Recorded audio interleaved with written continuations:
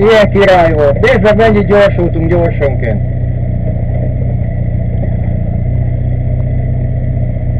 Ez nem örömhír egyébként, majd megmondom miért. Azért, mert be vagyok rozsdásodva. Ja.